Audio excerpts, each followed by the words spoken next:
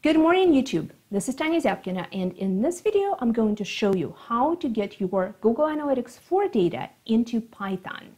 I'm going to show you how to get or update your API keys, authorize your Python application for GA4 data, and then we're going to construct a request for the data and get a response formatted into a nice pandas data frame and then you can produce a nice report out of it. Here's a sample. Then I'm going to show you how to validate that data because that's extremely important. Also, please note that of July 2023, GA4 becomes your only option for Google Analytics because Universal Analytics is going away. So get your gear in place. Let's get started. This is the place where you need to start your journey.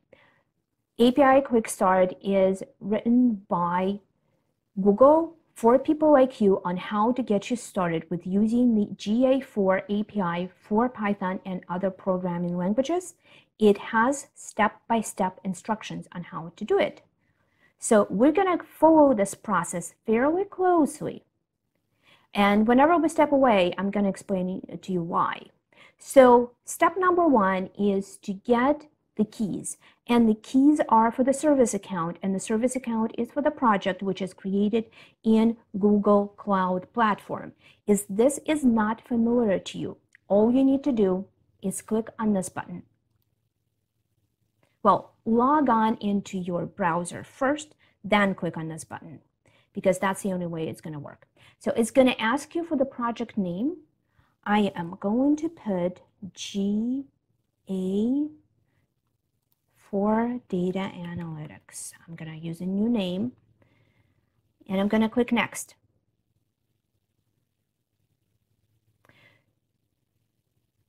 So if you are not familiar with Google Console and Google Cloud Platform, then you can skip over to the authorization of your Python from here after you download the keys. Um, also, click the like button because this is probably the most valuable advice that I've already given you. So what we got here is a JSON that gives you the keys to the API, which you will authorize in both Google Analytics and in your Python code, and we'll use it for analysis. So if you open the API, the um, Google account that needs to be authorized is in here. Now, what I'm going to do, I'm going to go into Google Console and show you how to do it from scratch. That will also help you if you have already a project that's authorized for Universal Analytics, how to add GA4. So go into cloud.google.com.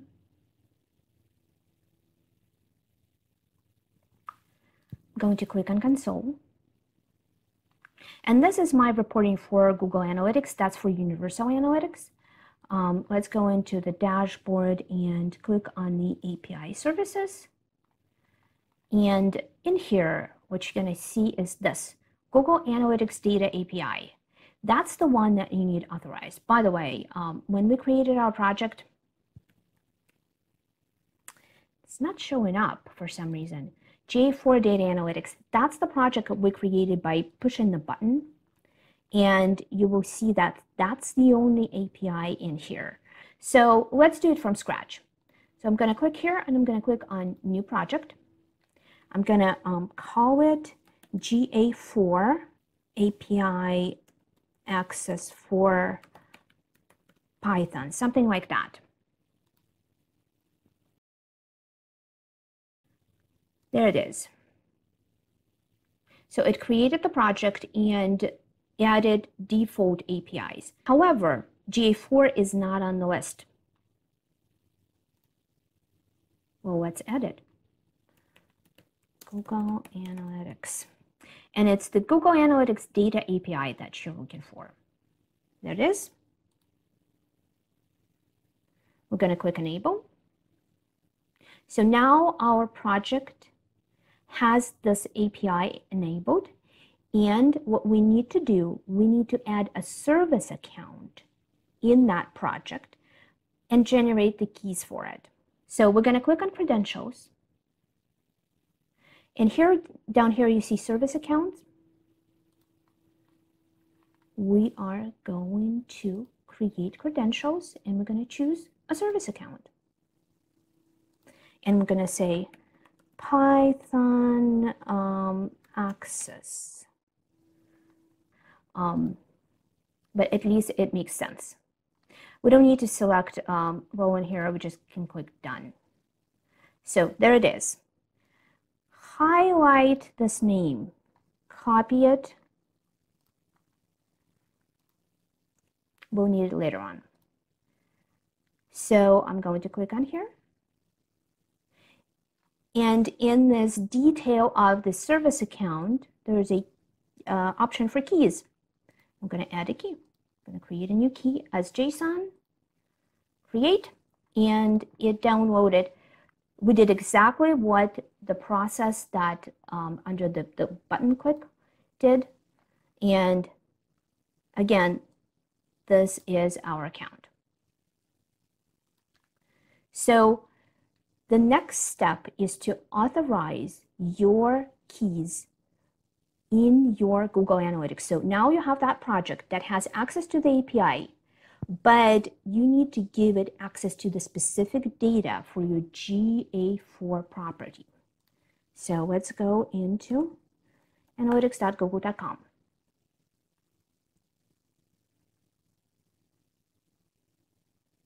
See, Universal Analytics will no longer process new data starting July 1st, 2023. That's why you need to switch over to GA4. And I have already done that. So I have my GA4 property.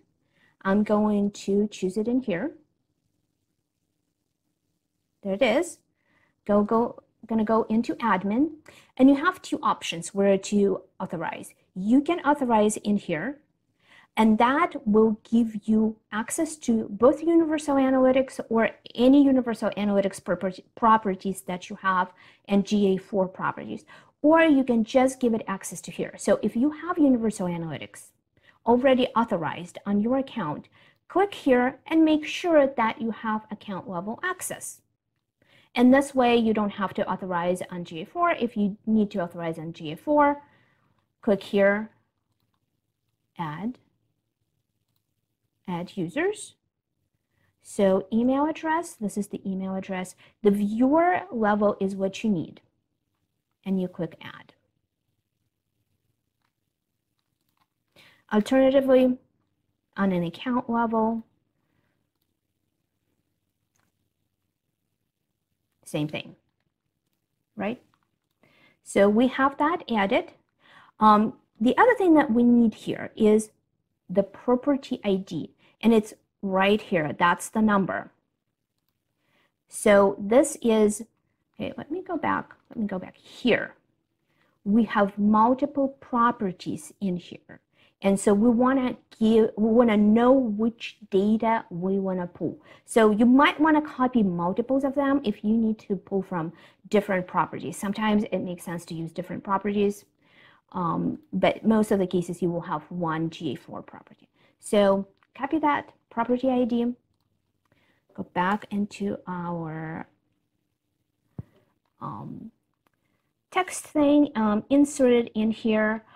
All right, so we're authorized now, and now we can switch to Python. So let's start with Python. In Python, you need to install Google Analytics data package, which is it, here in API. And in step four, you click on this link and it opens this GitHub page, which basically just says pip install Google Analytics data package. I had trouble making it work in an environment, so it's installed in base, so that might help you. You also will need your JSON location, which I suggest that you copy into your working folder so you can link it in here you tell Python which credentials to use by setting up the Google application credential environment in your Python. You also will need your property ID, which tells you, oh, pull data for that particular view of the Google Analytics data that exists out there. So let's um, run this. So NumPy and Pandas, of course, we need that. Um, let's load Google Analytics packages. Let's declare all of the global variables that we need and set up the client. And so the next piece of code is a procedure where I take the request, and we'll talk about requests later, send it to Google servers, get the response back, and format it into Pandas data frame. Let's set it up.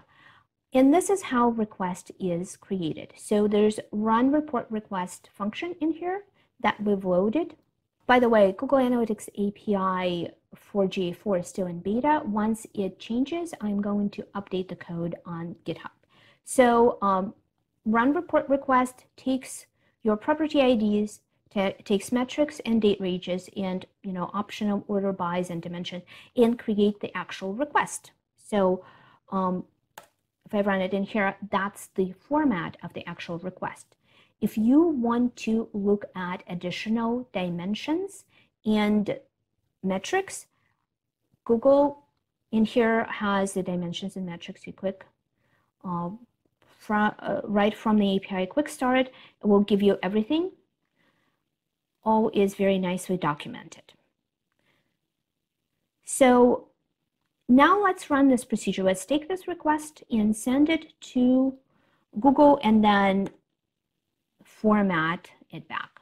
So um, in this particular request, we had the metrics were active users, the uh, and uh, session duration, and the dimensions were months and session mediums, and the dates were from the beginning of June until right now, and I also ordered them.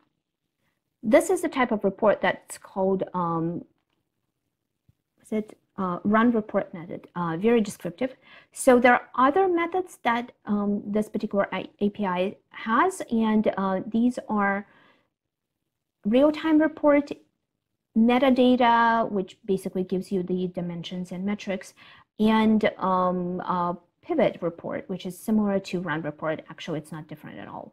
Um, I don't recommend running it the other one I think is uh, there's some sort of a, um, let me see. There's pivot report, real time, there's funnel report. So um, everything, all of the documentation is in here. So uh, run report is the most practical because that's just your basic historical data. If you want to output this data frame into Excel um, or CSV, uh, you can do that. And let me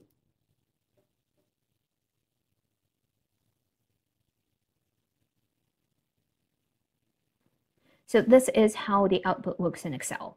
Um, I did reset the index so that the months are a more um, you know, database consumable format. Now that we've got our data, let's play with it right here in Python since we already have it loaded, right? Um, let's load some of the graphics packages and uh, let's pivot that data for our standard monthly report, which is the different channels and how they stack up over time. This is our active users by month chart. And I am going to give you um, a really nice output that kind of mirrors what I have in my data studio. And that is going to give you a report for a particular set of dates. I would recommend anywhere between 30 and maybe 180. This code will run the data and create some sort of a basic report. And you can modify it from here to create your own. So I am specifying the end date and the number of days leading up to it. This is the whole procedure how to chart it. And um, so I'm going to produce report using the end date and the um, basically the dates. And that's how the report is going to look like. Uh, I am breaking down the channel for where my traffic to my website comes from. And then I'm going to look at the traffic by day by these channels. So you can you can see that organic is the most common channel for my website, which is similar to many other websites. Um, I'm also looking at the landing pages. Uh, we have this um, interesting not set, uh, which is kind of a data artifact that appears in um, GA4 compared to Universal Analytics. Uh, but these numbers do match my Universal Analytics pretty closely. Well, I also have top 10 visited, uh, visited pages. I do use active users, uh, not sessions or page views, because I kind of don't trust sessions and page views because there's a lot of um, data artifacts that get into the clicks, the page views, and, and you know, you, you do one thing and it counts it three times. So active users, in my personal opinion, is the cleanest data point. If you are doing this for a school project, congratulations, you're done. If you're doing this for a work project, what you need to do next is validate. Basically, what I'm going to do, I'm going to run this report uh, for um, page path, which is like this, this particular report uh, with additional data. And I'm going to compare it to my data in Data Studio. So since we are running this data from the same exact uh, source, drink it from the same source, it should be exactly the same. So um, let's run this data and I'm not like limited to top 10, it's just everything in here. And what I did, I did the page path um, the number of events that uh, were counted, number of sessions, number of active users, and number of new users, and um, sorted them descending. So what I'm going to do now is I'm going to go into Data Studio. So if you've never done Data Studio, I'm going to um, show you a card of how to uh, create a report in Data Studio, but it's extremely easy. First thing you need to do, you need to create a data source, just like we do in here in Google Analytics. You just choose that very property, and then it will give you an option to create a report. And um, it will create you a mock table where you can go in and set up the page path, event count, sessions, active users, new users. You're done. It's going to take you literally 10 minutes. So now um, I've added the, uh, the date uh, control in here so we can choose our dates. So I am going to go back and I believe it's from September 25th until October 1st. Apply. So we have the data in Data Studio here and we're going to compare it to our Python data. So the top line is 504, 116, 89, 84, 504, 116, 89, 84. My um, homepage is 31 10, 10, 8. 31, 10, 10, 8. So it matches, of course, for real validation. You need to go in and export this table into something like Excel. And then in here, you can go in and um, export it to an Excel. And that's where you make sure that every line matches exactly. It should match exactly because it's from the same source. The second step is to go and compare your GA4 data to Universal Analytics data. If your organization has never used the GA4 data, and this may create difficulties because the data is slightly different from Universal Analytics, and good luck with that.